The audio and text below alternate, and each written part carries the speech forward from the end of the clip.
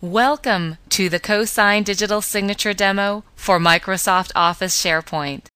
CoSign enables users to quickly and easily add digital signatures to their Microsoft Office SharePoint environment. To demonstrate, we will follow John as he creates and digitally signs a Word document and initiates the SharePoint workflow process to route the document for approvals and signatures. In the first step, John begins by creating a new Word document from an existing template. Once he selects his template, Microsoft Word opens. John completes the form. He saves the document.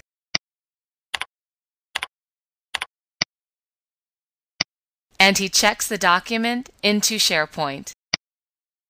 After inserting his comments, John is ready for the second step, signing the document. He right-clicks on the signature field and selects the Sign menu option. And John's signature appears in the first signature field. The signature window lists the signatures collected on the document as well as any pending signature requests. Before initiating the workflow, John can verify that SharePoint knows whose signature is required next.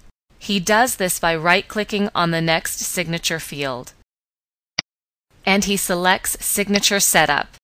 The CoSign Signature Setup box includes the email address of the next signer.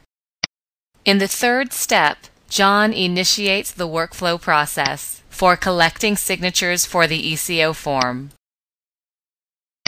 The required signatures are indicated within this window, and John clicks the Start button to confirm and initiate the workflow process. The workflow initiates an email to Julia, notifying her that a form awaits her signature. To view the next step, we will move from John's computer to Julia's.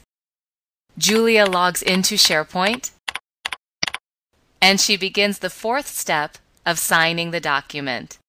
In the Workflow Tasks page, Julia selects the document requires your signature link. Julia opens the appropriate document, and because SharePoint knows which signature field Julia is required to sign through the workflow settings, Julia simply clicks the Sign button to add her signature to the document.